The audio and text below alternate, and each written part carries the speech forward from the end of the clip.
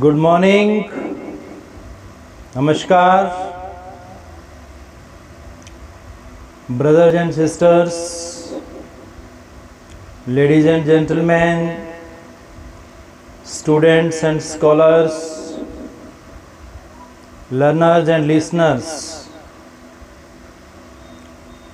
professionals and professors,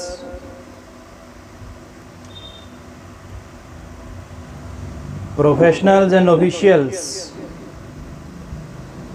those who belong to the field of science, spirituality, arts, commerce, and engineering, the most honorable Prime Minister, Saint Dr. Narendra Modi ji, availability of the ministers and doctors, respected mothers and fathers, affectionate sons and daughters. I, Dr. Rakesh from USA, welcome all heartily, cordially, appreciate, admire, praise such personalities those who are present among with us. Really it is very valuable time place and action that we are listening the truth of science and spirituality. It is really remarkable moment of life I thank God for His presence everywhere, every time with us. He is always present with us. He who is omnipresent, omnipresent, omniscient, omnipotent. He who is the creator, caretaker, and destroyer. He who is always present everywhere with us in the form of air, fire, soil, sky, and water, even where there is no availability of these five elements, He does exist. As per the notion of our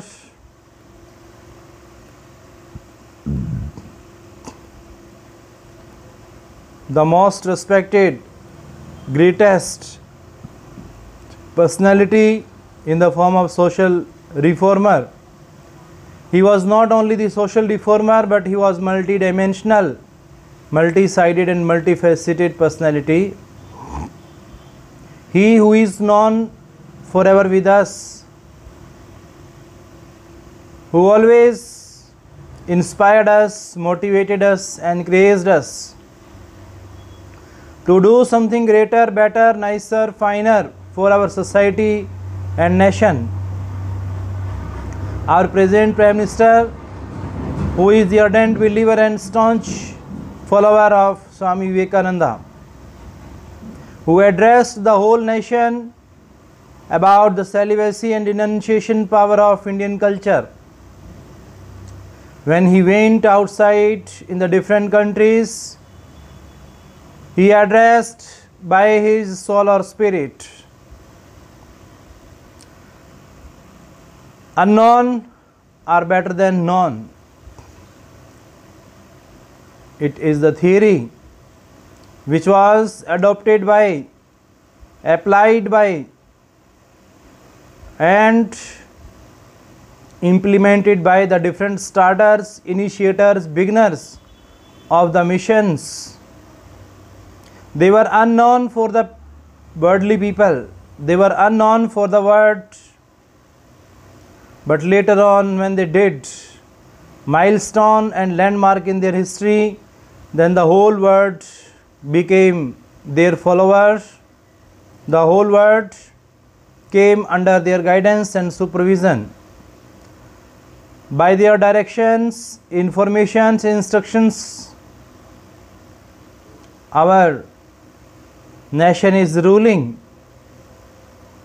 we are feeling their presence in the form of air, fire, Indian air, Indian fire, Indian soil, Indian sky, and Indian water. We are the lover of Indian motherland. Who does not love his country? Who does not want to live with his soul or spirit? All the re- religious, social, political reformers who came first on this land and who are being followed by the predecessors and successors they still exist today with us in all the functions in all festivals and in all kind of programs they are always with us. Whenever we celebrate any function any festival they play their part. They become the part of that program because they are always exist with us. Their existence shows the presence of god almighty who never goes away from us.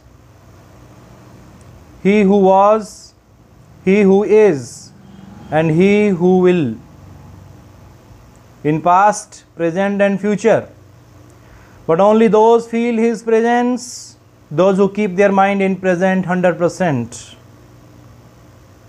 by keeping our presence of mind in 100% present then we feel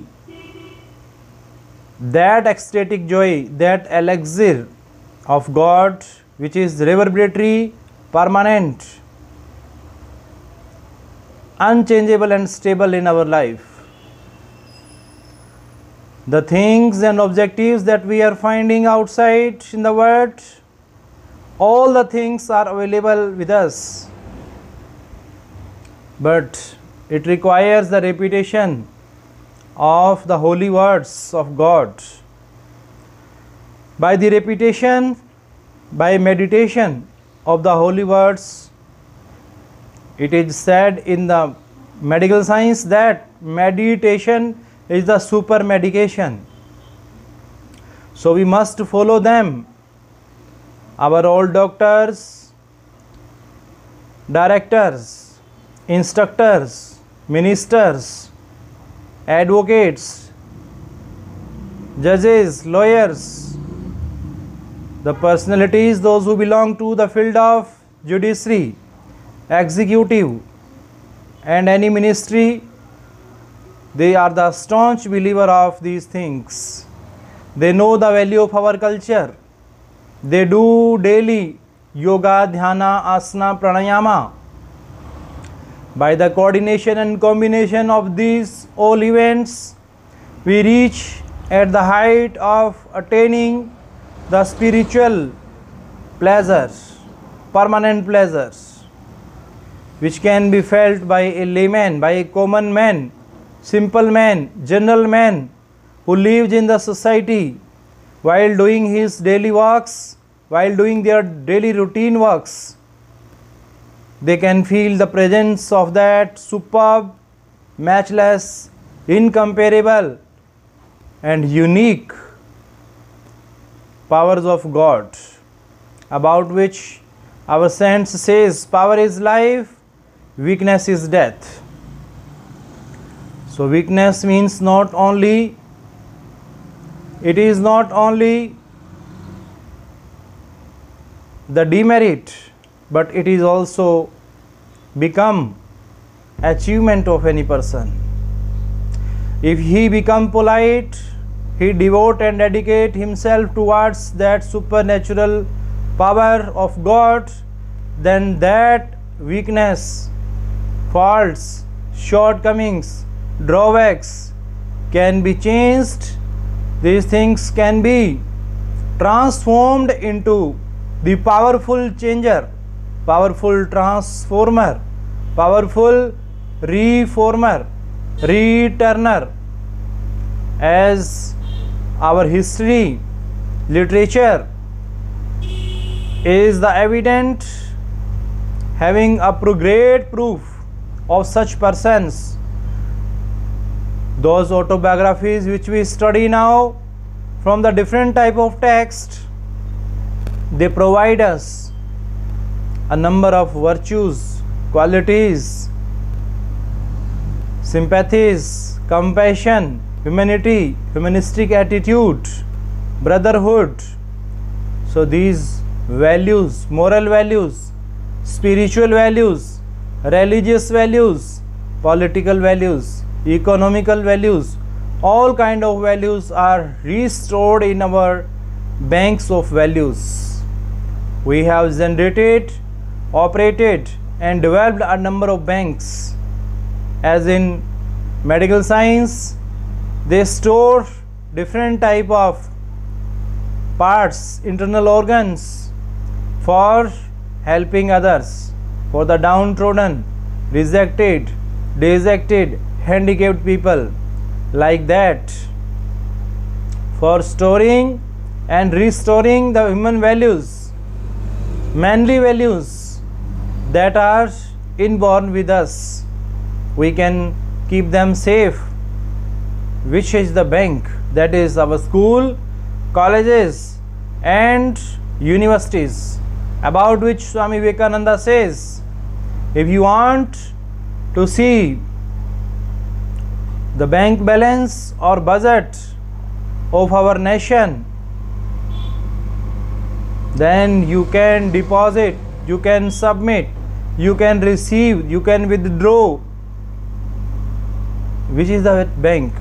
Which is that bank? That banks are our spiritual schools spiritual universities and spiritual colleges that are established with their high motive objective and ambition.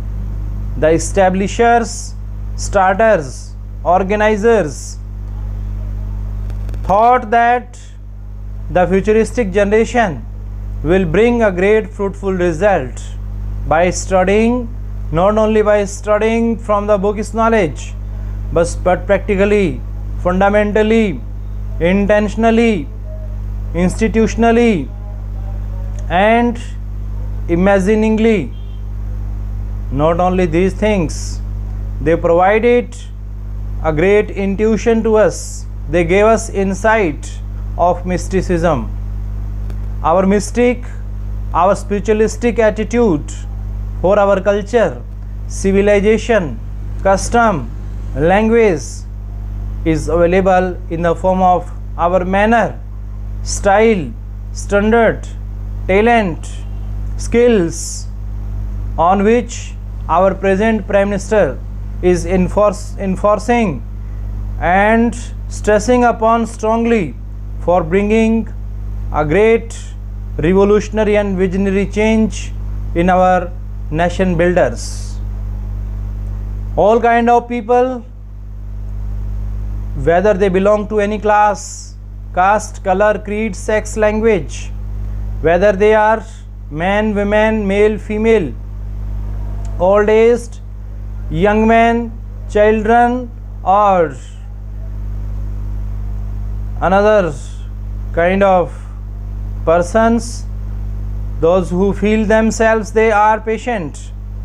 Those who feel them they are only the students. Those who feel them they are only the customers. They are also the great valuable resourceful persons of our society. But they must understand our human values. They must keep understand the value of our culture and civilizations our old starters of the religions in our country.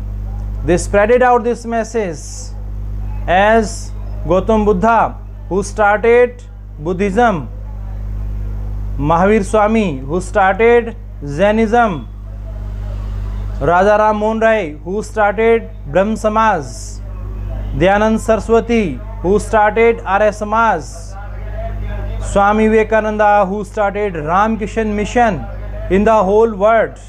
It was really a great collective and collaborative venture throughout the world, which was celebrated as the humanistic task. So, everyone should be inspired, motivated, and encouraged by such persons. They were not only the persons, but they were multi dimensional personalities of their field. They knew everything. They exist today with us. Now, here with us always in the form of the sunlight, in the form of moonlight, starlight, while feeling the presence of blowing the winds, while feeling the blows of the sound, then we can feel their presence. We are having their existence and images with us. So, this imagination power we are to put into bringing a betterment and social upliftment. Definitely, certainly, we can bring a great change, but we must live with nature. We are to be natural, we are to be common, general, and simple as much as we can. But our thoughts should not be common automatically and ultimately ultimately these thoughts change into the realities as there were two great critics plato and aristotle. These two persons those who are known as the most wisest person of the world they explained in their words they described it as idea creates the creation. And second one who was his disciple aristotle he explains that imitation is the power. Imitation has the power to create the creation. So both they are right on their own stand. Because they were the two sides of one coins. They have their different notion. But on their notion they were true and real. Plato, in which period he was, he addressed the people for creating the things. But Aristotle, who was in his time, in his place, he admired the people for imitating as a child who takes birth from the womb of mother. Ultimately, he knows the experience of tomb and womb same ideas addressed by William Wordsworth, who says a child is the father of man. A child, and in the form of infant, a child in the form of an infant in the womb of mother, he or she knows all kind of changes that comes in the mother. So every thought, every idea that is being generated that is being operated, that is being dwelt in the womb of our earth, that will come on this earth one day after the supreme development, their ideas in the form of, in the same form of similarities and resemblances, the ideas comes out from our mind and they are experimentally shows their presence and applied not only applied but they are implemented in the right direction for the righteous cause for the upliftment of the different persons personalities for the betterment upliftment of our society nation family and our own families. So for the Indian citizen they should get up early in the morning they must be self inspired they must have self confidence for getting the soul power tonic which is available in the form of nature. Nature which can never leave us alone. While being alone it inspires us. It provides us everlasting soothing effect of our mind and heart. We should never go away from it. About which say William Shakespeare spent a lot of time with nature and he was a greatest philosopher who was known as the king of literature. Every person of literature every scholar and student of literature who is studying english literature he cannot leave he cannot be apart from the reading of william shakespeare. William shakespeare who studied his internal body organs or his, uh, his or internal organs are in the form of reading writing speaking listening. All were inside with him always. Not pen and paper. But his mind was the true pen and paper. His mind was the true archaeologist historian physician economist. So he was not only a poet but he was the multi-dimensional multi-sided multifaceted who wrote a number of poems in the form of english literature. He write about the person who get married. Let me know to the marriage of true minds but he want to say that let me to the marriage of true hearts how shall i compare thee? Not marble nor the gilded monuments. He appreciates admires his friend in the form of written words. These written words in the form of poem that he inscribed and prescribed in the form of poem everyone who will read who will go through the literature he will remind that there was an extraordinary uncommon personality in this world who set us who gave us a great great platform to show the remembrance. So there are many similarities between the thoughts and ideas of swami vivekananda william shakespeare john donne john keats john milton and william wordsworth.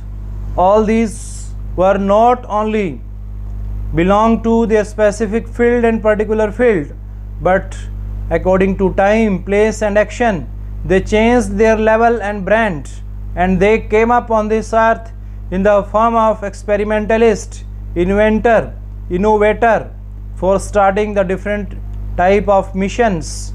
Even